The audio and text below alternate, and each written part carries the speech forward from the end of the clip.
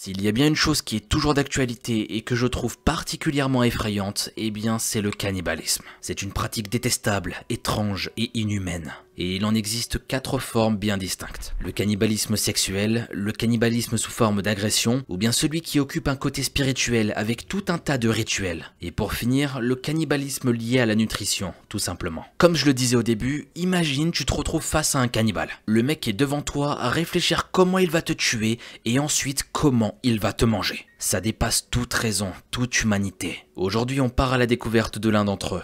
Il s'agit de Clifford Orgy, le cannibale nigérian. Ce que je vous propose, c'est de savoir de qui il s'agit et de pourquoi il a commis de tels actes. On va essayer aussi de creuser un peu sur le côté psychologique. Let's begin.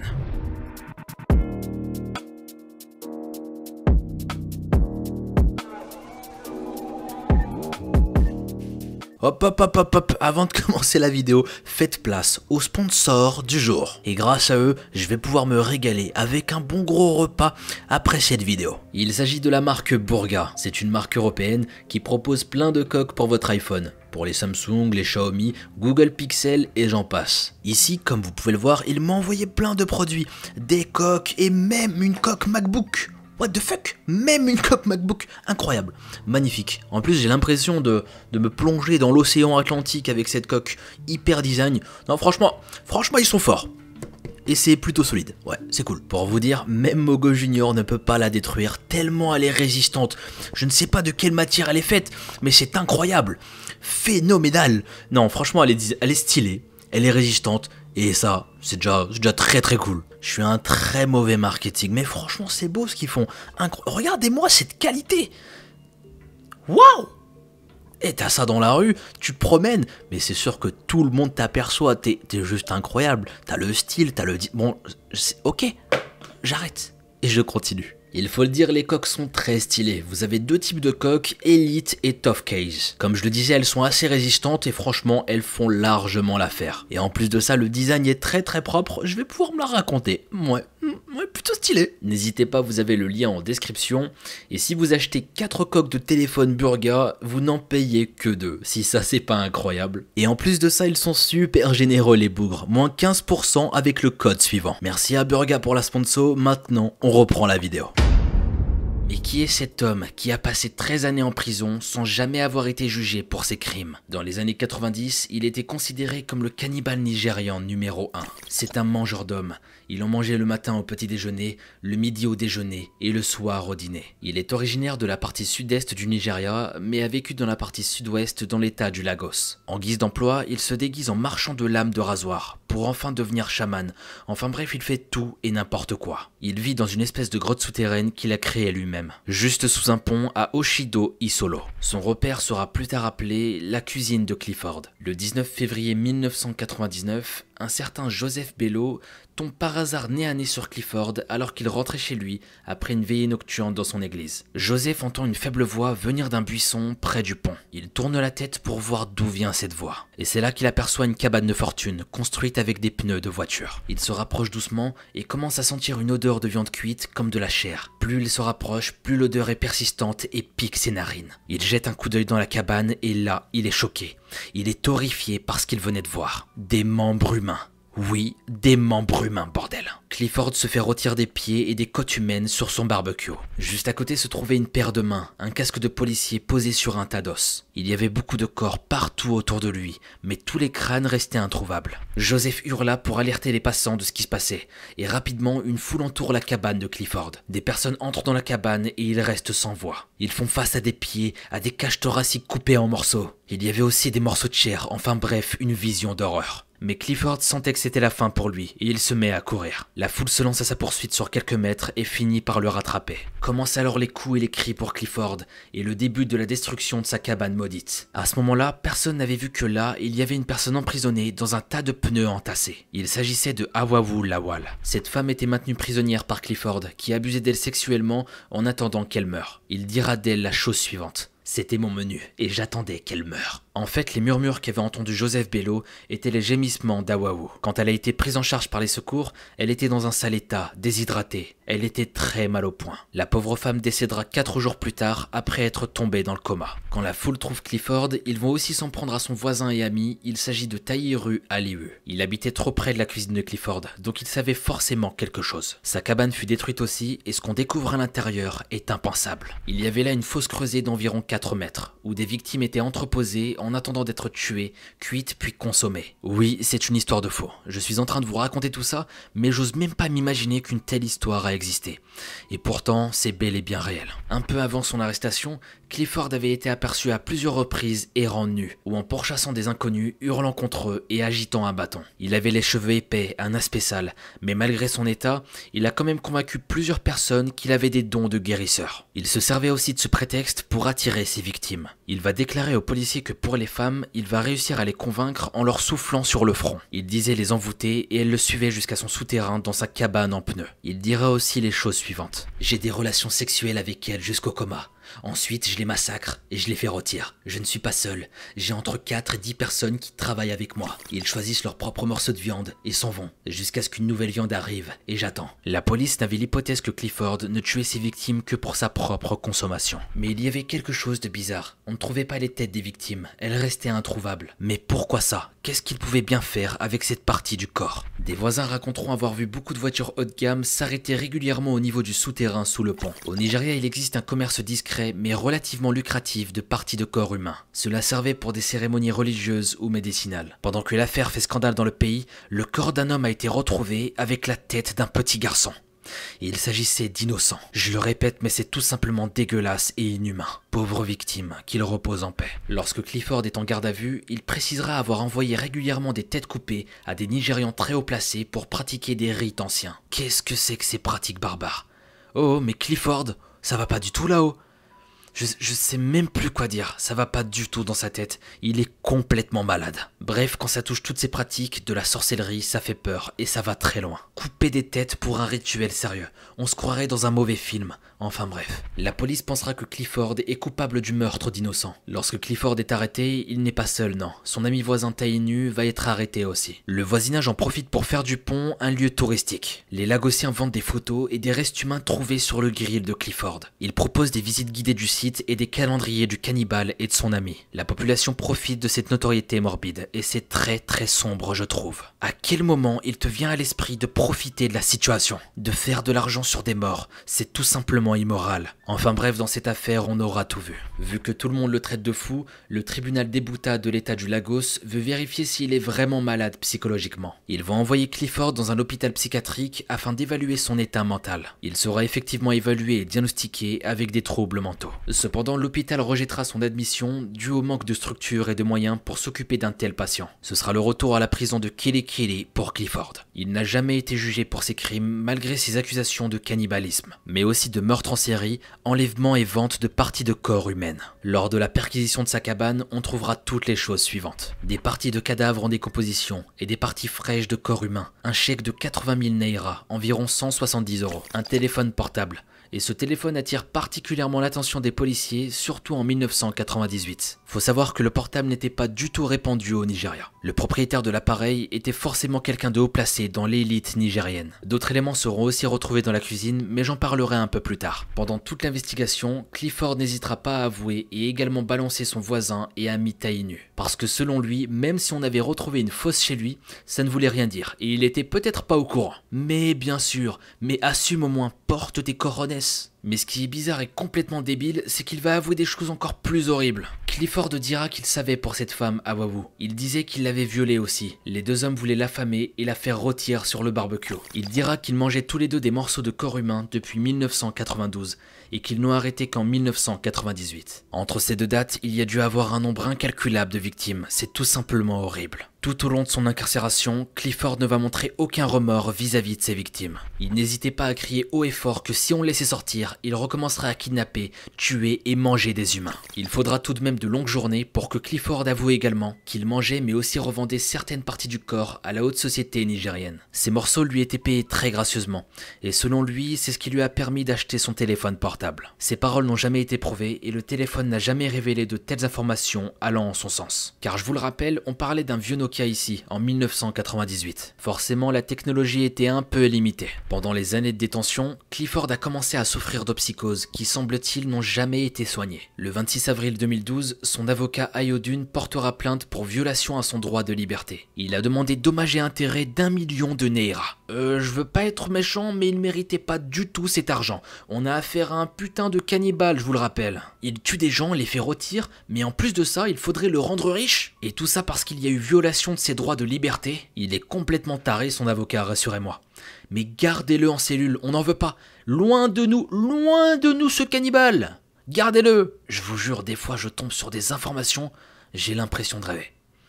Bref, le tribunal rejettera finalement cette plainte en octobre 2012 suite au décès de Clifford en août de cette même année. C'est précisément ce jour-là que son avocat déclara les causes de sa mort, sans apporter de preuves. Il serait apparemment mort d'une gastroentérite selon son avocat. Avant sa mort, voici quelques déclarations de Clifford aux journalistes. Nous sommes des mangeurs de viande humaine. Nous avons tué plus de trois personnes, et en particulier des jeunes filles qui colportaient de la marchandise. Nous les avons attirées dans notre repère sous prétexte d'acheter quelque chose, et une fois qu'elles étaient dans nos filets, on leur sautait dessus pour les tuer et en faire de la viande comestible. Mon collègue est le chasseur d'humains, et moi, je suis le boucher. J'avais une préférence pour les jeunes filles, avec les cheveux frisés. Quand un journaliste lui demande pourquoi manger de la viande humaine, sa réponse est pour le moins surprenante. Je mange de la viande humaine depuis 7 ans, et c'était bel et bien avant de venir dans l'état du Lagos. C'est dans notre culture de manger de la viande humaine. Si aujourd'hui vous étiez libre, vous mangeriez encore de la viande humaine? Oui, bien sûr. Pour moi, il n'y a pas de différence entre de la viande de chèvre et de la viande humaine. Après vérification, on s'apercevra dans le sud-est du Nigeria que dans certaines régions, la consommation de viande n'est pas quelque chose d'étrange, bien que pour nous ça semble improbable. Pour en revenir dans la cuisine de Clifford, il y avait pas mal de choses à l'intérieur. Des poêles à frire, des seaux, des bols contenant des os humains, ainsi que du bois de chauffage et des parties humaines. Il y avait aussi des paumes, poignets, chevilles, pieds, cuisses et crânes rôtis. Oui, c'est horrible, et je pense que c'est l'une des affaires les plus glauques que j'ai eu à traiter. Il y avait aussi du riz, des condiments et des épices, une marmite de soupe prête avec de la viande humaine, des couteaux, une somme d'argent liquide d'environ 500 000 naira. À la fin, les gardiens de prison rapportaient que la santé de Clifford se détériorait de plus en plus. Il devient un peu plus fou de jour en jour, il se fait vomir et se défègue dessus. Il passe la plupart de son temps nu à faire tout et n'importe quoi, comme s'il était devenu sénile. Il avait 46 ans lors de son décès. La population rapporte que depuis son arrestation, l'endroit où vivait Clifford est devenu un repère pour délinquants en tout genre. Plusieurs témoins assurent avoir été agressés alors qu'il se promenait tranquillement. Clifford a peut-être laissé son aura maléfique à cet endroit et ce malgré sa mort. Pour finir cette affaire, voici un dernier témoignage. Une personne qui a failli devenir la victime de Clifford. Un soir, une femme attend sa fille qui devait rentrer à la maison mais s'inquiète ne la voyant pas arriver. Évidemment, pour rentrer, elle devait passer sous le pont où vivait Clifford Orgy. La maman, sachant que ce n'est pas dans les habitudes de sa fille de ne pas rentrer à l'heure, elle décide aussitôt de monter dans la voiture de son fils qui l'accompagne et ils partent ensemble à la recherche de la jeune fille. Quand ils arrivent au niveau du pont, la femme et son jeune fils sont toujours dans la voiture. C'est là qu'ils aperçoivent deux hommes sortir de nulle part et qui essaient de rentrer dans le véhicule. La femme va hurler à son fils de lâcher les freins et d'accélérer. C'est ce qu'il va faire et tout va finir par s'arranger. Elle a retrouvé sa fille un peu plus loin et heureusement tout s'est fini bien. Mais cette femme reste persuadée d'avoir vu un des assaillants avec un couteau dans la main et elle est certaine que c'était Clifford Orgy. Si son fils ne l'avait pas écouté et n'avait pas mis les pleins gaz, elle ne serait peut-être plus là pour pouvoir témoigner. Des histoires de cannibalisme, j'en ai déjà parlé sur la chaîne avec Lennart Persson par exemple. Mais je peux vous garantir qu'à chaque fois que je tombe sur une affaire liée au cannibale, je trouve ça terrifiant. Ce qui me fascine, c'est surtout la psychologie dans ce genre d'affaires. D'essayer de comprendre pourquoi ils vont jusque là. Qu'est-ce qui va les pousser à faire tout ça finalement? Souvent, on n'a aucune réponse rationnelle, que des hypothèses sur le tueur. Ce qui est troublant dans certains cas, c'est qu'on n'aura sûrement jamais aucune réponse. On aura beau se dire c'est pour telle ou telle raison, mais c'est souvent très compliqué. Au final, on n'aura jamais la réponse et je trouve qu'il n'y rien de pire. Vivre dans le flou et ne pas comprendre, je sais pas mais je trouve ça frustrant. Bref, ce que je vous propose c'est de faire un focus sur ce tueur, d'en savoir un peu plus sur lui, sur sa vie, comment il se comportait avant et comment les gens qui ont pu le côtoyer le trouvaient, etc. C'est parti.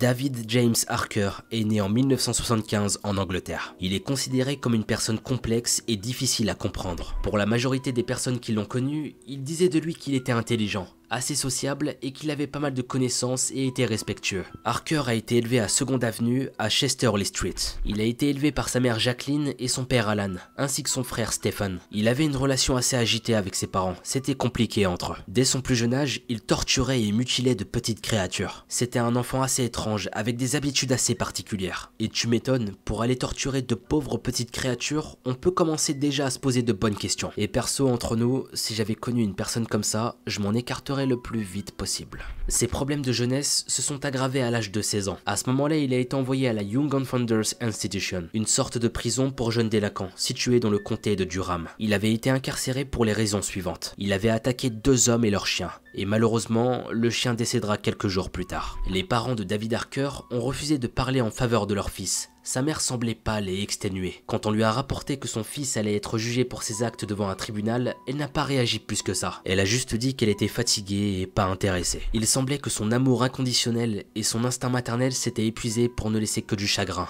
Elle était vide. Ça montre à quel point la vie de cette maman devait être compliquée. Quand on voit tout ça, on imagine que la vie avec David devait être super dure à vivre. Mais pourtant, malgré son comportement et son approche avec l'alcool, Harker avait un cercle d'amis à la fois large et varié. C'était un skater talentueux. Ancien punk, il s'était lié d'amitié avec de nombreux garçons plus jeunes que lui, âgés de 15 à 17 ans, probablement ciblés par lui parce qu'il sentait qu'il pouvait les impressionner et les manipuler. Beaucoup d'entre eux le craignaient. À Stanhope Park, Harker s'asseyait sur un banc tandis que les jeunes, souvent jusqu'à 15 ans, s'asseyaient sur l'herbe autour de lui en demi-cercle. Il les traitait comme ses disciples. Il était également le chanteur principal d'un groupe punk et hardcore nommé Downfall. Il était ami avec un grand nombre d'étudiants de Queen Elizabeth 16 From College à Darlington. Ses amis ne buvait pas comme lui et ne portait pas le même intérêt pour sa violence, mais il le trouvait intelligent et agréable à côtoyer. Avant son arrestation, Harker prévoyait de se rendre en Inde pour faire du travail caricatif, assez paradoxal quand on sait ce qu'il va faire par la suite. Un autre ami, Steven Crane, a déclaré les choses suivantes. L'une des raisons pour lesquelles j'aimais Harker,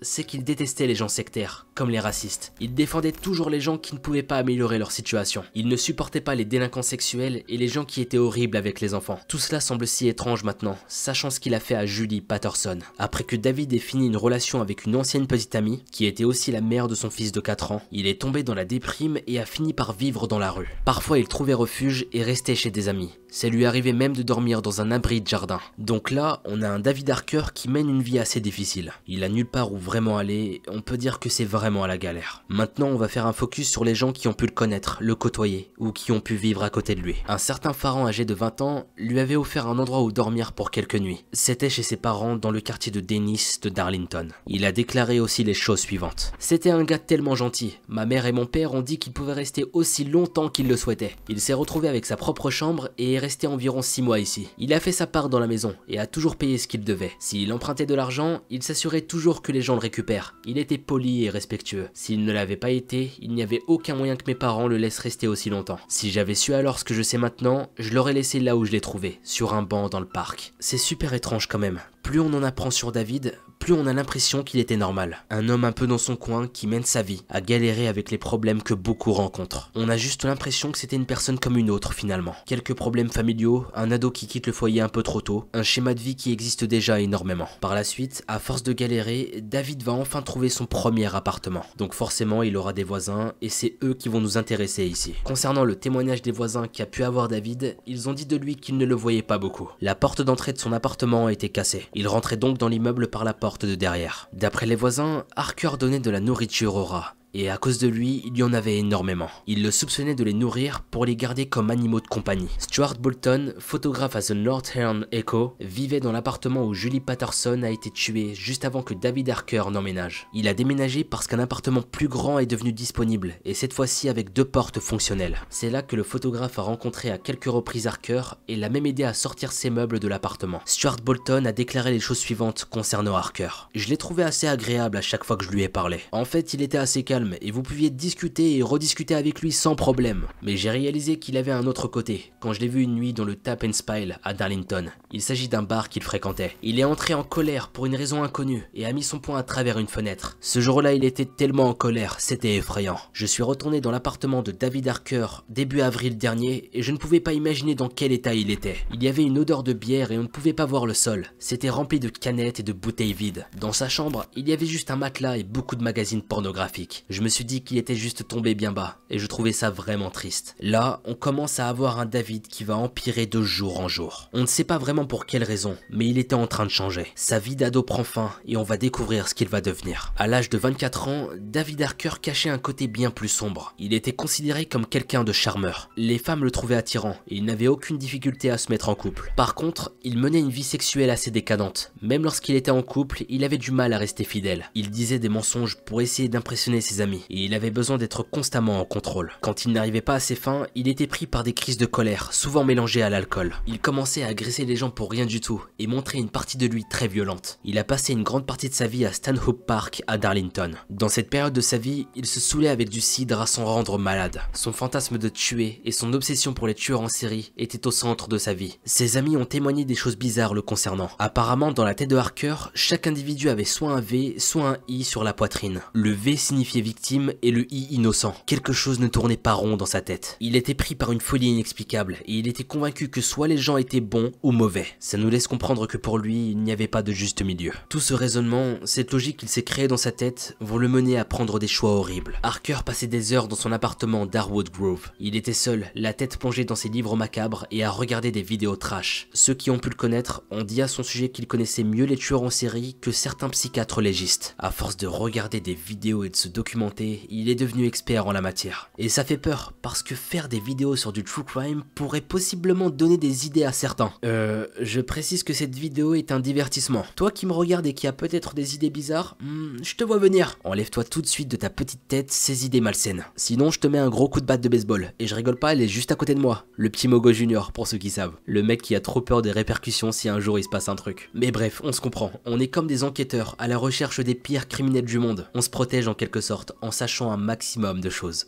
Bref, on reprend notre histoire. Je résume, David Harker aimait apprendre des choses. Pas des choses joyeuses qui l'aideraient à devenir quelqu'un de meilleur, non, c'était pas ça. Il était littéralement en train d'apprendre à devenir un tueur et à se comporter comme un tueur. Parmi les livres qu'il a pu lire, il y en avait sur la façon d'échapper aux questions lors des entretiens avec la police et sur la façon de survivre en prison. Il se préparait à toute éventualité. Mais il ne sera jamais prouvé si David Harker a préparé ses crimes suite à ses lectures, ou si la mort de sa première victime était tout simplement un fantasme devenu incontrôlable. Certains pensent que la suite des événements, ce qu'il a fait n'était pas préparé. Ils pensent qu'il était simplement malade et qu'il n'a pas pu contrôler ses actes. Comme quand une personne rentre en transe, vous êtes tellement dans votre bulle, vous ne pensez plus à rien, vous n'avez quasi plus aucune limite. Ça, c'est la première hypothèse. Mais d'un autre côté, il pourrait être un psychopathe qui a planifié la mort de Julie, et ce depuis le début. Et ce qui confirme un peu ça, c'est qu'il a avoué plus tard à The Northern Echo qu'il voulait être un tueur en série. La chute de son livre était le besoin de se vanter. Il a raconté à pas moins de 28 personnes ce qu'il avait fait à sa première victime. Un ami, Mike Farran, rappelez-vous celui qu'il avait hébergé au début. Il a déclaré que Harker s'était donné le nom de Devilman et qu'il avait essayé d'être à la hauteur de cette image. Il aimait se présenter comme ça et se bagarrer avec les gens, mais je n'avais certainement pas peur de lui. Je suppose que certains des plus jeunes auraient pu l'être. Quand nous avons appris qu'il avait été arrêté pour meurtre, nous ne pouvions pas le croire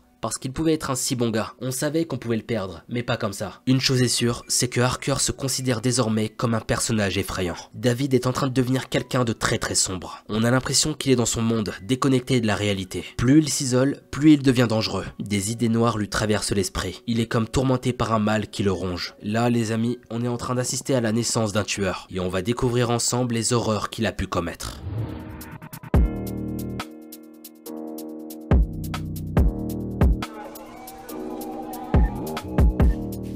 On va s'intéresser directement à sa première victime et faire un focus sur qui elle était et comment tout s'est déroulé. Julie est née à Durham. Elle avait des antécédents de dépression et de dépendance à l'alcool. En 1998, Michael dit qu'elle prenait des antidépresseurs et qu'elle commençait souvent à boire tôt le matin. Pour information, Michael c'était son frère. À ce moment-là, même si elle était en couple avec Alan Taylor et qu'elle avait un enfant avec lui, elle disparaissait souvent pendant des jours. Elle partait pour fréquenter les bars du coin en s'en mettant plein la gueule. C'est là qu'elle a rencontré David Harker, un jeune de 24 ans qui, malgré des tatouages sur la tête indiquant trouble et sous-humain, l'avait attiré. Au premier abord, David semblait quelqu'un de peu commun. Et franchement, c'est pas vers lui qu'une femme se tournerait directement. Mais il est décrit par tous comme un jeune homme pouvant activer le charme. Ce charme a fonctionné sur Julie, et après quelques verres, elle est retournée à son appartement où ils ont fait l'amour. Mais l'aventure d'un soir s'est transformée en horreur dès que Harker a commencé à s'ennuyer. À un moment donné, il va prendre les collants de Julie et il va l'étrangler sur le lit. Après avoir eu des relations sexuelles avec son cadavre, oui, on est sur quelque chose de très très sombre. Non seulement il va la tuer, mais il va aller encore beaucoup plus loin, en montrant un côté nécrophile. Par la suite, il va trancher la chair de ses cuisses avec un couperet à viande. Autant vous dire que la scène devait être effroyable. Du sang partout et un humain décapité par un autre. On est sur un stade de folie qui dépasse l'entendement. Une fois découpé, il va finir par la cuire dans une plaque de cuisson. Il va traîner son corps jusqu'au sous-sol, lui couper les jambes, les bras et la tête. Rien ne pouvait l'arrêter une fois lancé. Il va aller jusqu'au bout de ses idées. Lorsque le petit ami de Julie, Alan, a remarqué qu'elle avait raté un rendez-vous avec sa fille, c'est là qu'il a commencé à s'inquiéter. Il ne va pas chercher à comprendre, il va directement appeler la police. Quelques jours plus tard, un chien renifleur de la police a commencé à aboyer contre un objet dans une haie, dans une ruelle calme. L'officier David Davies a sorti un sac de poubelle, et dans ce sac, il y avait les restes pourris de chair avec des os. Tout ça rempli d'insectes en train de ramper à l'intérieur. Oh, juste en imaginant la scène, ça devait être dégueulasse. À partir de ce moment-là, son frère Michael dira que sa vie est devenue un cauchemar. La police a déclaré avoir trouvé un corps, et le lendemain, j'ai lu dans le journal qu'il n'avait ni bras ni jambes. C'était tellement irréel. Vous ne lisez ces choses que dans les livres de films d'horreur. Mais cela se produisait réellement. Ma grand-mère avait 70 ans, et on lui a caché tous les détails, en éteignant la télévision lorsque la nouvelle est tombée. Notre vie n'a jamais été la même. Et tu m'étonnes, qui voudrait apprendre des choses aussi horribles? Déjà, apprendre qu'elle est morte, c'est une chose. Mais savoir qu'en plus de ça, elle est partie dans d'atroces circonstances, c'est encore pire. Et là, vous avez encore rien entendu. Pendant ce temps, on pourrait imaginer un David Harker qui est en train de fuir et regretter ce qu'il a fait. Eh bah non, pas du tout. Le mec était en train de se vanter d'avoir tué une fille qui s'appelait Julie. C'est vous dire à quel point il était perturbé mentalement. Le mec n'a aucune logique. Même les potes de Harker qui traînaient avec lui pour boire l'avaient entendu se vanter. Les gars, écoutez-moi. J'ai tué une fille appelée Julie. C'est la phrase qu'ils ont entendue de lui quand il parlait encore avec lui. Ils ont également vu le rapport du journal. Ils étaient en train de réaliser que ce que Harker avait dit était vrai. À la suite de ça, ils ont directement appelé la police pour le signaler le plus vite possible. David Harker, il est temps pour toi de te faire arrêter et d'aller pourrir en prison.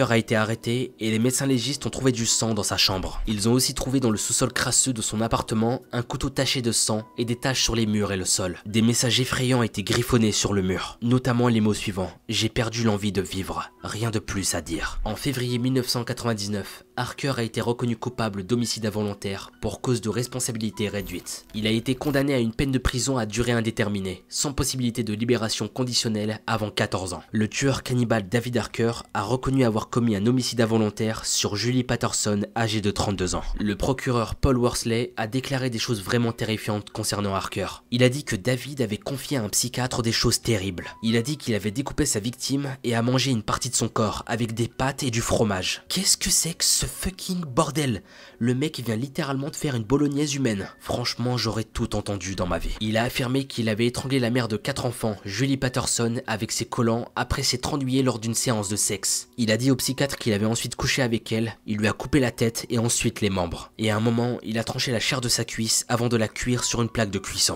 Vous pensez que ça mérite quoi comme peine, un individu pareil? Sérieux, j'ai même plus les mots pour décrire l'horreur qu'il a fait. Enfin bref, le tueur David Harker a été emprisonné à perpétuité après avoir plaidé coupable d'homicide Le corps de Julie Patterson a été retrouvé démembré dans un terrain vague. Le juge Bennett a déclaré Harker comme l'un des pires psychopathes et l'un des plus dangereux de Grande-Bretagne. Vous l'avez tué dans les circonstances les plus terribles, et vous avez démembré son corps. Vous avez glorifié sa mort et la manière dont elle est morte. Je n'ai aucun doute que si on vous donne la moindre opportunité, vous allez tuer à nouveau. Le juge était convaincu que David était un grand danger pour la société. David a affirmé avoir rencontré Julie après l'avoir rencontrée dans un pub. Ensuite, il l'a emmenée dans son appartement de Darlington. Il l'a étranglée, puis a affirmé qu'il a coupé des lanières de chair de sa cuisse. Ensuite, il l'a cuisinée avec des pâtes et du fromage. Il a aussi affirmé avoir jeté le torse dans un sac poubelle. Puis il a déposé le sac près d'un club de football de Darlington. La tête de Madame Patterson n'a jamais été retrouvée. Paul Worsley, chargé des poursuites, a déclaré que Harker était obsédé par les tueurs en série et qu'il lisait n'importe quel livre ou regardait n'importe quel programme sur le sujet. David a dit à ses amis que son ambition était de devenir le plus grand tueur de Grande-Bretagne. Depuis l'arrestation de Harker en mai dernier, son apparence a clairement changé. Il est passé d'un homme beau, musclé et fort, à un être répugnant, insipide et arrogant qui a l'air malade. Il donne l'impression d'avoir passé des années à se construire une image. Mais aujourd'hui, il n'a plus rien. Ces derniers mois, son apparence a totalement changé. Les gens le nommaient Harker le boucher. Avant, sa tête était rasée et on pouvait voir clairement son cuir chevelu tatoué avec les mots sous-humain et trouble. Maintenant, sa tête est couverte de cheveux noirs. Il est devenu méconnaissable. Il a une barbe entièrement noire, lui donnant l'apparence de l'un de ses héros, le tueur en série Peter Sutcliffe. Quand on le regarde, on voit un homme avec des yeux bleus glaciers. Son apparence fait froid dans le dos. Il a le profil parfait d'un tueur sinistre. Pour lui, tout ça fait partie d'un rôle qu'il joue. Un personnage dans une histoire d'horreur macabre écrite par ses propres mains. Je trouve ça super malsain. Le mec va jusqu'au bout de ses idées. Il veut mener la danse jusqu'à la fin et contrôler la situation. On a l'impression qu'il est vraiment déconnecté de la réalité et que tout est devenu un jeu pour lui. Mais le plus troublant dans cette histoire, c'est tout ce qu'il a provoqué par la suite. Tout ce que David Harker a laissé derrière lui. Et on va le découvrir. Michael, le frère de Julie, était dévasté par la situation. Son frère l'aimait par-dessus tout, et il ne pouvait pas s'imaginer qu'une catastrophe pareille pourrait se produire. Je voulais tellement aller là-bas et le tuer de mes propres mains. Mais je devais penser à ma famille. Je voulais le tuer. Mais au final, nous avons obtenu le bon résultat à la fin. Michael n'avait que 3 ans lorsqu'il a perdu sa mère d'une tumeur au cerveau. Et à l'âge de 31 ans, le même âge que Julie lorsqu'elle est décédée, il s'est toujours occupé de sa petite sœur. J'ai toujours veillé sur elle et je l'ai défendue. Mais je n'étais pas là la dernière fois et ça me hante depuis. Donc là, on a le frère de Julie qui est traumatisé par cet événement. Mais ça n'a pas affecté que lui. L'ex de Julie, Alan, avait élaboré un plan étrange pour se venger. Il a commis un meurtre afin qu'il puisse atteindre Harker à l'intérieur de la prison. En 2006, Alan, un alcoolique vivant dans un foyer pour sans-abri, a étranglé son ami John Morrison avec sa propre ceinture. Au procès, il a plaidé directement coupable d'homicide involontaire. Il a déclaré que le meurtre horrible de Julie avait affecté son esprit. Il a été emprisonné à vie, mais envoyé dans une prison différente de celle de Harker. Vous imaginez à quel point cette histoire va super loin après la mort de Julie Beaucoup de personnes veulent se venger. Et pour certains, comme Lex, ça va trop loin. Il va jusqu'à commettre un meurtre pour atteindre David Harker et tout ça pour rien. Ça devient du grand n'importe quoi. Et c'est pour ça que je vous parle de répercussions. Et le pire dans tout ça, c'est que l'ex de Julie, qui va manigancer tout ce stratagème qui va finalement tomber à l'eau, va tomber dans le désespoir. Trois mois après le début de sa peine, il s'est suicidé dans sa cellule. Un autre ex, Freddy Newman, le père des enfants aînés de Julie, Sophie 28 ans et Freddy 26 ans, va lui aussi commettre l'irréparable. Il s'est suicidé à la suite de son meurtre, laissant sa mère s'occuper des enfants. C'est là qu'on voit à quel point les répercussions d'un meurtre, ça peut aller très loin. C'est ça qui est encore plus triste et qu'on a tendance à oublier. Souvent, le pire dans de tels événements, c'est comment l'entourage va réussir à vivre avec tout ça. Là, on voit clairement que c'est compliqué. Surtout pour les ex-petits copains de Julie qui a été sauvagement assassiné. Derrière, on a de la vengeance, du désespoir qui se crée et c'est hyper malsain. On rentre dans un cercle vicieux où ça ne va jamais s'arrêter. Et c'est exactement ce qui est en train de se produire avec cette histoire. Bref, là on fait face à une problématique. David Harker est en prison, mais refuse de dire la vérité. Il ne voulait pas révéler où se trouvait le reste du corps de Julie, y compris sa tête, ses bras et ses jambes. Mais il laissera une énigme où il laissera sous-entendre où il les a cachés. C'est là qu'on voit à quel point David était sournois et maléfique. L'énigme qu'il va laisser va tourmenter Michael, le frère de Julie. J'ai une banque, mais je n'ai pas d'argent. J'ai des chutes et je continue. J'ai un lit, mais je ne dors pas. J'ai une bouche, mais je ne me nourris pas. Qui suis-je? Est-ce que tu sais où c'est? Je vous avoue que perso, je n'ai rien compris à cette énigme. Si vous avez des idées en commentaire, franchement elles sont les bienvenues. L'énigme va tourmenter Michael. Il va tout d'abord penser qu'il a caché les restes de Julie dans une rivière, mais il n'y croit pas. À un moment, il pensait l'avoir résolu et a passé des semaines à creuser dans une zone. La zone s'appelait Catswell à Durham. J'ai regardé cette énigme dans mon album pour la première fois en 20 ans et j'ai eu une dépression nerveuse. J'ai été hospitalisé pendant un mois. Pendant que j'étais à l'hôpital, je lisais le journal et il y avait un gros titre. Le crâne trouvé dans le jardin pourrait être les restes de Julie Patterson. Mais ce n'était pas le cas. Il ne s'agissait pas de son crâne. J'espère juste que de mon vivant, ces restes seront retrouvés. Michael dit que 21 ans après sa mort, il ne peut pas travailler et quitte rarement la maison. Nous ne sortons pas en public et je ne peux plus être sociable. Je regarde juste tout le monde vivre sa vie, faire la fête, sourire, être heureux. C'est vraiment dur. Moi je n'y arrive plus. Je ne crois pas en la pendaison. Mais j'espère que Harker restera en prison pour le reste de sa vie, et que quelqu'un lui fera endurer la douleur qu'il a infligée à ma sœur. 20 ans plus tard, la tête et les membres de Julie ne seront jamais retrouvés. David Harker ne dira jamais la vérité. Malgré des appels téléphoniques désespérés, il restera muet. Dans une interview exclusive avec The Sun Online, le frère de Julie a déclaré les phrases suivantes. David Harker ne nous dira jamais où elle est, parce que c'est la seule chose à laquelle il s'accroche. Il a soif de notoriété. Cela n'a pas détruit seulement ma propre famille, ça a détruit beaucoup de familles. Il est là, tout proche. J'entends son souffle, sa respiration de plus en plus forte. Je l'entends marcher vers moi. Il arrive. Non, non, pitié. Laisse-moi vivre. Laisse-moi partir. Vous savez ce que ça fait d'être face à un criminel? Se retrouver face à un homme qui a perdu toute humanité. Il est là face à toi, plus fort que toi. Il a le dessus sur toi, et à tout moment, il peut te faire n'importe quoi. Des choses inimaginables, des choses horribles. Cet homme est ton pire cauchemar. L'affaire qu'on va voir aujourd'hui est ultra sombre pour pas changer. À quel moment, putain de merde, tu vas bouffer ta sœur? Dit comme ça, j'avoue, c'est hyper chelou. Mais qu'est-ce qui va se passer dans ta tête pour manger ta propre sœur? Merde Faut être complètement taré. Eh bien, c'est ce qu'on va essayer de comprendre avec Lennart Person, qu'on appellera le vampire sanguinaire. Je vous jure, on se croirait dans une putain de fiction. Le vampire sanguinaire. Mais faut avouer que ça sonne plutôt bien. Ouais. Allez, sans plus attendre, essayons d'en savoir un peu plus sur l'enfance de Lennart. C'est parti.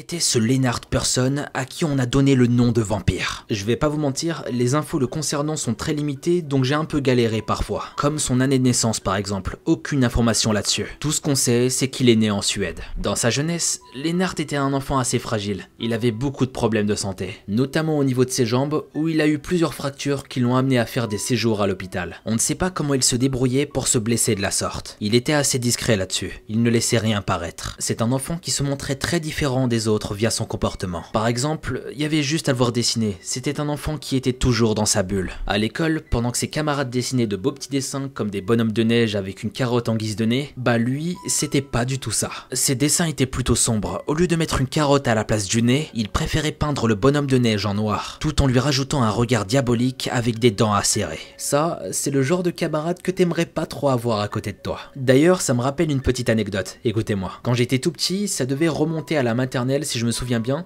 il y avait une petite fille qui mangeait des tubes de colle. Je ne déconne pas les amis, elle mangeait de la colle. Vous voyez les tubes de colle de la marque UU là? Elle était en train de sortir toute la colle et elle le gobait d'un seul coup. J'avoue, dit comme ça, c'est hard, mais c'est pas le pire. Elle était si instable qu'elle a trouvé le moyen de couper sa langue avec une paire de ciseaux. Imaginez ce qu'elle aurait pu faire d'autre à ce moment-là. Je reviens de loin mes amis.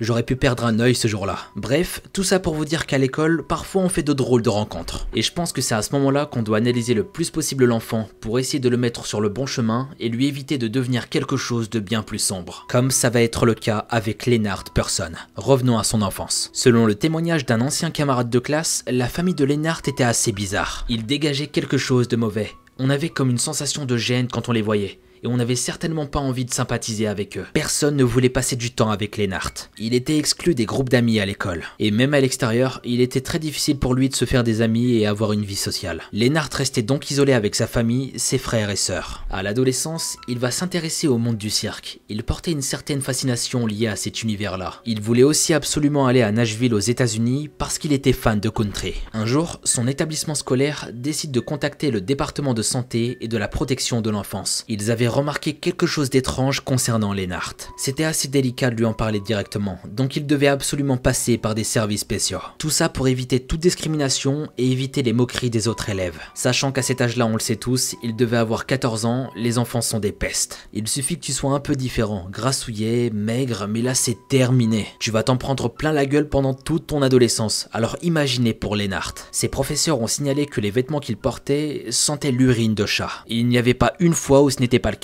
c'était vraiment tous les jours. Suite à ces plaintes, une enquête a été réalisée par le département de santé. Ils se sont rendus dans sa maison et ont tout de suite remarqué la puanteur qui régnait dans les lieux. Pendant leur visite, ils trouvent un tas de matière fécale et d'urine séchée à tous les étages. Autant vous dire que ça devait être dégueulasse. La famille possédait plus de 60 chats affamés, malades, blessés, avec des morceaux discrètement collés à leur fourrure. Ça, c'est le genre de truc qui me rend fou. Pourquoi avoir des animaux à la maison si c'est pour pas t'en occuper? Franchement, faut me donner une réponse parce que ce genre de choses, ça me met hors de moi, je vous promets. En plus de ça, ça va très loin. L'hygiène de vie est déplorable, carrément dégueulasse. De la merde partout et une facilité à avoir des maladies qui est décuplée. Et c'est hyper malheureux. Imaginez les chats dans la maison nager dans tout ça. C'est pas une vie, c'est pas ce qu'ils méritent. Ça me fera toujours de la peine quand on voit ce que l'humain est capable de faire. Comment tu peux traiter des animaux de la sorte? Je trouve ça triste. En plus, moi qui aime énormément les chats, ça me fait énormément de peine.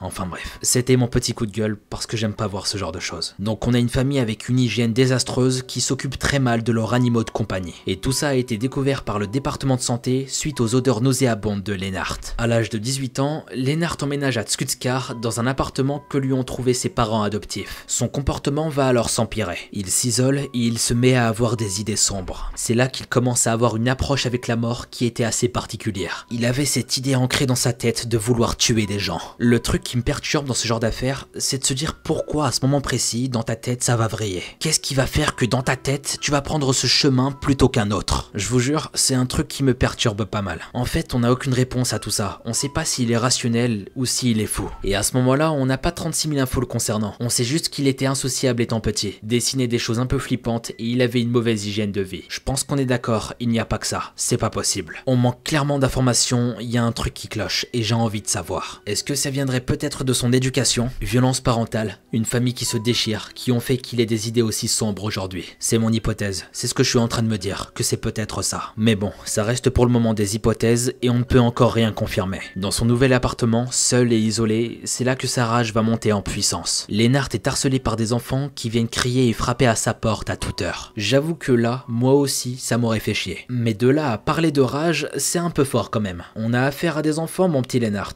Calme-toi. Calm down. Relax, mec. Ne t'énerve pas. Reste tranquille, mon ami. Je suis vraiment fou, j'ai vraiment cru que j'étais devant lui en train de le raisonner là. Mogo, Mogo, qu'est-ce qu'on va faire de toi? C'est peut-être moi qui suis en train de devenir fou là. Lénart, maîtrise la situation. Je viens du futur pour te raisonner. Lénart, calme-toi, parce que si tu te calmes pas, ça va partir en couille. Je t'aurais prévenu, Lénart. Tu veux pas m'écouter? Ok, ok. oh mon dieu, je suis fou putain. Bon, j'aurais essayé mes amis. Je suis vraiment perché des fois putain. Le jeune homme est très introverti. Il va contenir sa rage au plus profond de lui jusqu'au jour où il va être dépassé par les événements. Sa rage devient de plus en plus forte. Un jour, il va ouvrir sa porte. Il attrape deux enfants par le col et les jette violemment au sol. Il se précipite pour prendre sa batte de baseball et les menacer avec. Il était entré dans une rage folle. Il les regarde droit dans les yeux et se retourne pour exploser la porte de leurs parents qui se trouvaient près de lui. Il a frappé tellement fort et avec tant de rage qu'il l'a brisé en plusieurs morceaux. Il avouera plus tard que si quelqu'un était intervenu à ce moment-là, l'aurait tué. Les parents des enfants étaient choqués par la situation. Ils avaient peur de Lennart qui se trouvait face à eux. Pris d'un choc émotionnel et d'une grosse frayeur, ils ne déposeront pas plainte à la police. À cette époque, Lennart est de plus en plus seul. Il s'isole et ne voit quasi personne. Il voit que très peu ses deux sœurs adoptives, Camilla et Anna. Mais il pense souvent à elles, et parfois de manière sexuelle. Oui, vous avez très bien entendu, c'est très sombre. Plus tard dans l'affaire, les enquêteurs trouveront une lettre anonyme et un contenu porno qu'il aurait envoyé à Camilla. C'est pour vous dire à quel point les choses étaient sordides. Non seulement il pensait à des choses sales, mais il envoyait aussi du contenu sombre à ses propres sœurs. Lennart poursuit sa vie comme si de rien n'était. Il a une copine et trouve un travail dans un restaurant. Jusque-là, rien d'anormal.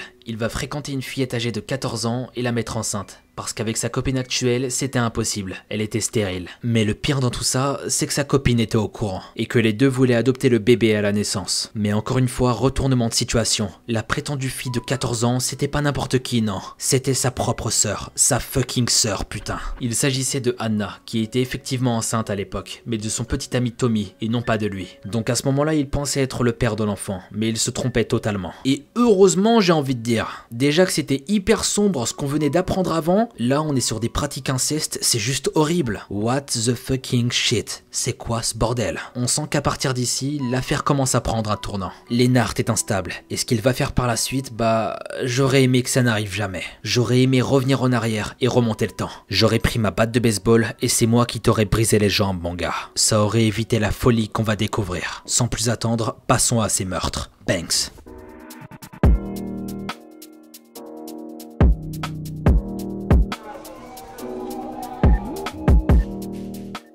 Plus les mois passent et plus Lennart devient incontrôlable. Son désir de tuer augmente. Il va devenir celui que tout le monde va redouter. Les mois défilent et il devient paranoïaque. Il a peur. Peur des gens qui sont autour de lui. Tellement peur qu'il doit se protéger. C'est ce qu'il est en train de se dire dans sa tête. Je ne dois faire confiance en personne. Il me faut un couteau pour me défendre. Je dois me protéger du mal qui m'observe. Lennart était en train de littéralement péter un câble. Dans sa tête, il y a tout un tas de choses qui se passent en même temps. Un mélange de peur, de méfiance et de haine. À ce moment-là, on sentait qu'il avait besoin d'aide. Si personne ne réagissait, bah on pouvait imaginer que ça irait beaucoup plus loin. Et c'est ce qu'on va découvrir. Lennart était en train de perdre espoir. Pour lui, son état ne pourrait qu'empirer s'il restait dans son appartement seul. Donc il a tout simplement arrêté de payer son loyer, puis il s'est fait expulser. N'ayant plus d'endroit où dormir, il est parti vivre dans le garage de ses parents. Toujours un peu isolé, dans son coin, comme à son habitude. Il se rendait à l'intérieur de la maison juste pour prendre ses repas, sa douche et s'occuper du chien. Il passe ses journées à regarder des cassettes vidéo à caractère sexuel. Une fois terminé, il se place devant le garage et il brûle tout, pour ne laisser aucune preuve. Le 30 mars 2005, Lennart Persson, âgé de 29 ans, va tranquillement se préparer. Il va mettre une belle chemise à carreaux et se rendre à la ville de Satra. Ce jour-là, il est très tôt le matin. Il fait encore nuit et il décide de rendre visite à sa sœur adoptive Anna Norel, âgée de 19 ans. Avec tout ce qu'on sait sur Lennart à ce moment précis, croyez-moi, on peut s'attendre au pire. Et je sais pas, mais sa façon de faire, de se comporter, ça en dit long. C'est tellement pas rassurant, on a l'impression qu'il prépare quelque chose. Déjà qu'il se lève hyper tôt pour rendre visite à sa sœur, 5-6 heures du matin, je trouve ça bizarre. En plus de ça, il ne la prévient pas. Il arrive par surprise comme si de rien n'était. Il toque à la porte et il rentre. Il voulait absolument rencontrer l'enfant qu'elle avait accouché quelque temps avant. Elle lui ouvre la porte et ils se rendent à la cuisine pour discuter. Elle lui raconte un peu sa vie, son quotidien. Quand soudain Lennart sort un couteau et la poignarde violemment à plusieurs reprises. Je ne pouvais pas m'arrêter. Je l'ai poignardé encore et encore. Le petit ami de la jeune femme, Tommy, entend des bruits dans la maison. Il tend l'oreille et il s'aperçoit que ça vient de la cuisine. Il se lève pour aller vérifier. Il se rend dans la cuisine et voit sa femme au sol en train de se faire poignarder à répétition par les nartes. C'était une scène des plus effroyables et il y avait du sang partout. Il aurait dû faire quelque chose. C'est un lâche. En me voyant, il est parti en courant. De toute façon, je l'aurais tué aussi. Après l'avoir tué, je me suis penché sur elle et j'ai commencé à boire son sang. J'ai ensuite pris un couteau et j'ai découpé des morceaux de son corps. Et je rappelle qu'il s'agit de sa sœur. Honnêtement, j'ai aucun mot pour décrire l'horreur de ces actes. Mais le pire, c'est qu'à ce moment précis, la femme était encore en vie. C'est là que Lennart commence à prendre conscience de son geste. Il se rend compte qu'il est allé beaucoup trop loin et il va la serrer dans ses bras. Mais malheureusement, sa folie va prendre le dessus. Il n'arrive plus à réfléchir, à savoir ce qui est bon ou mauvais. Il est devenu totalement incontrôlable. Il repose le corps de sa sœur au sol et il se fixe l'objectif de retrouver son enfant. Mais Tommy, en fuyant, s'est précipité pour prendre son fils et fuir le plus loin possible. Heureusement j'ai envie de dire, parce qu'on aurait pu s'attendre à des choses encore plus horribles. Déjà qu'on est très haut en termes d'horreur, alors j'imagine pas. Quand il s'en aperçoit, Lennart est dégoûté et va se précipiter pour rentrer chez lui en prenant le bus. Mais pendant le trajet, il va voir une ambulance avec gyrophare allumé qui se dirige tout droit vers sa sœur Anna. Il réagit tout de suite. Il descend au prochain arrêt, va dans une bibliothèque pour aller dans les toilettes. Il se lave les mains qui sont remplies de sang. Il essaie de se débarrasser de toute preuve qui pourrait le nuire. Ensuite, il rentre chez lui et une fois arrivé, il va sortir un morceau de sa sœur qu'il avait gardé dans sa veste. Il va le renifler pendant quelques secondes et le manger. Quoi? J'ai l'impression que ce que je dis là, c'est irréel. Ça paraît tellement absurde. C'est tellement effrayant. Là, on a affaire à un monstre. Non seulement il mange de la chair humaine, mais en plus de ça, il s'agit de sa sœur, qu'il a tuée de sang-froid. Ce jour-là, Lennart va rester éveillé pendant toute la nuit, parce qu'il était persuadé qu'il allait être arrêté, que la police allait arriver et que c'était terminé pour lui. Mais ça s'est pas du tout passé comme ça. Le petit copain de Anna, Tommy, est arrêté pour meurtre. Comme dans beaucoup d'affaires, on va viser les personnes les plus proches directement. Donc le principal suspect c'était Tommy. J'imagine même pas le désespoir qu'il a dû ressentir quand il s'est fait arrêter, sachant que le tueur était toujours en liberté. Et le plus troublant, c'est qu'il savait exactement qui c'était. Mais personne ne voulait l'écouter, il n'avait pas son mot à dire. Concernant Lennart, il se sent soulagé. Et tu m'étonnes, le mec il est hyper bien. Il vient de tuer sa propre sœur et ce gros fumier a réussi à rester en liberté. C'est juste un truc de dingue quand on y repense. À ce moment-là, pour lui, c'est jackpot. Le seul témoin de la scène qui aurait pu le mettre dans la merde, bah, bah il se retrouve en prison. Quand Lennart apprend tout ça, il se dit qu'il est tiré d'affaire, alors il va poursuivre ce qu'il avait en tête. Il prend un calendrier et encercle la date à laquelle il a assassiné Anna. Il va aussi encercler cette date l'année suivante, pour ne pas oublier le jour de sa mort et fêter ça. Oui, je vous vois venir, c'est un psychopathe et ses idées sont très malsaines. Il entoure également la date du 30 octobre, car il avait prévu de tuer quelqu'un à Halloween, mais il ne le fera pas. Ce qui est fou, c'est qu'en attendant de commettre son second meurtre, le mec va assister comme si de rien n'était à l'enterrement d'Anna. Et encore plus troublant, pour ne laisser aucun doute planer, il va déposer un joli bouquet de fleurs sur la tombe d'Anna. Pendant ce temps, Tommy est toujours emprisonné par la police et va rester en maison d'arrêt durant deux mois avant d'être relâché. Le pauvre. Deux mois à pourrir en prison alors qu'il n'a absolument rien fait. J'imagine pas sa tristesse, dans l'état qu'il devait être. Le 25 octobre 2005, les pulsions de Lennart vont reprendre le dessus. Ça devient très dur pour lui. Il a besoin de ressortir cette rage qui brûle en lui. Il a tout un tas d'idées sombres qui lui traversent l'esprit. Il veut tuer des membres de sa famille et tuer plusieurs enfants. C'était son but, l'objectif qu'il s'était donné. Le jour où ça s'est produit, je conduisais à Tskutskar et je cherchais quelqu'un que je pourrais tuer et dont je pourrais boire le sang. J'ai d'abord cherché des enfants, mais ils étaient toujours accompagnés d'un parent.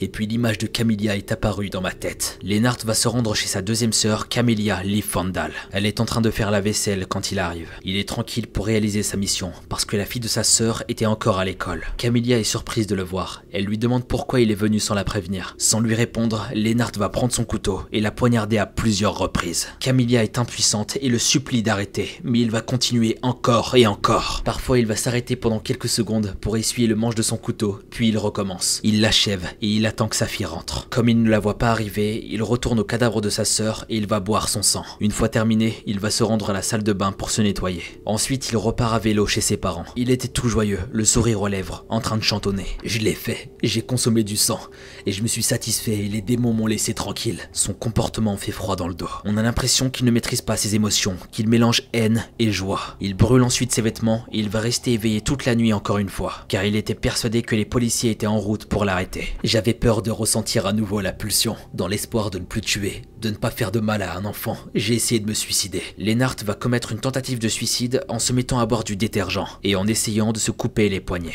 Faible et exténué, il se traîne jusqu'à l'extérieur où il aperçoit des policiers qui viennent dans sa direction pour l'arrêter. Dans le garage, les policiers vont retrouver tout un tas de peluches sur le lit. Ils vont aussi retrouver des photographies déchirées et des morceaux de tissu remplis de sang. Le cauchemar arrive à sa fin et Lennart est sur le point de se faire arrêter et de passer aux aveux.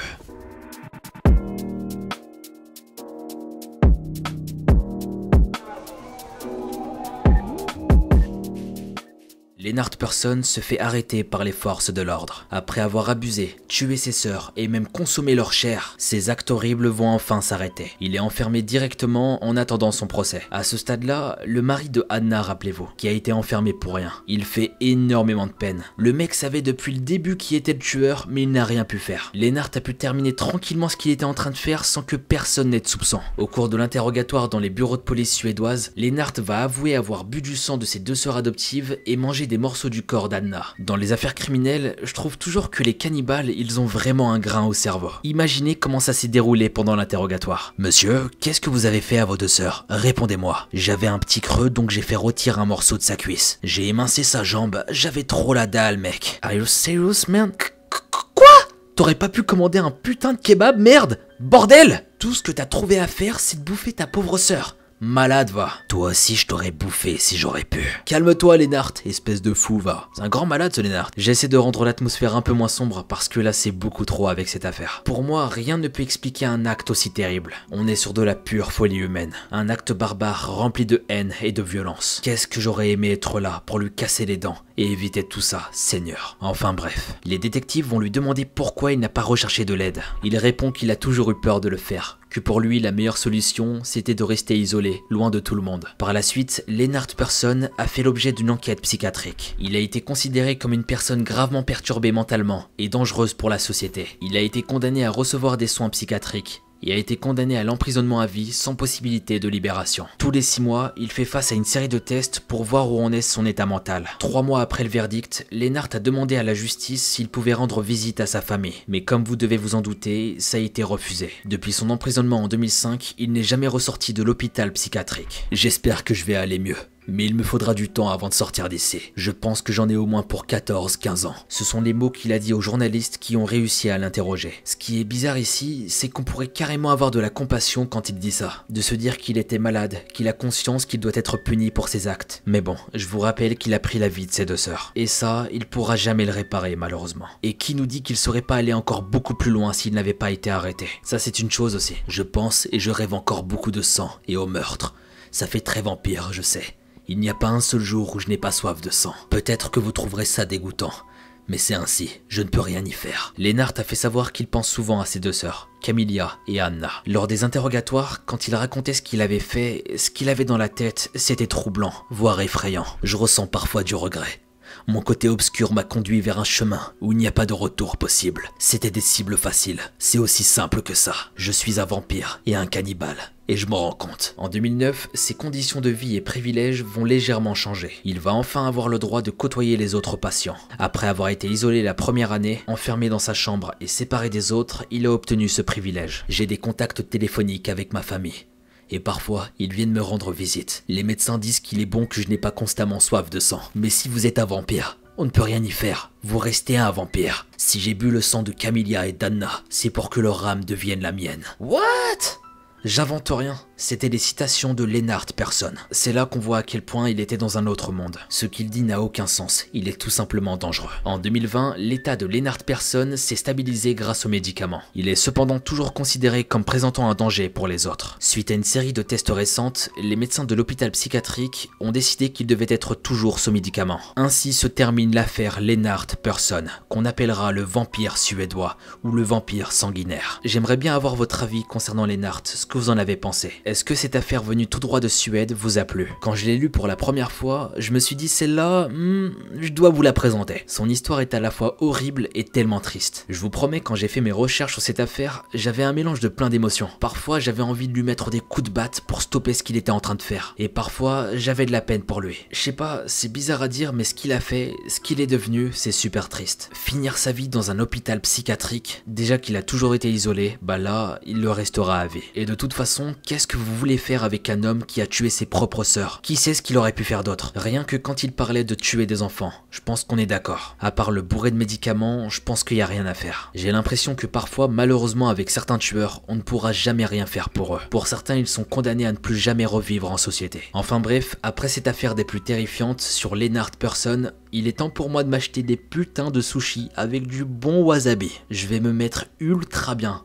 Mais je vous vois venir, vous qui me regardez. Je vous attends, invitez-moi pour qu'on puisse manger un max de sushis ensemble. Le mec est vraiment en train de parler de bouffe alors qu'il parlait d'un cannibale juste avant. Je suis vraiment fou et je suis insortable moi putain. Bref, bande de fourbes, invitez-moi. Vous savez comment rendre un mogo heureux.